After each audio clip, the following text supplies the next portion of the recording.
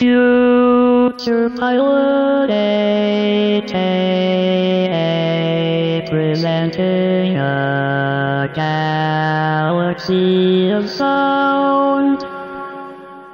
Challenge number one.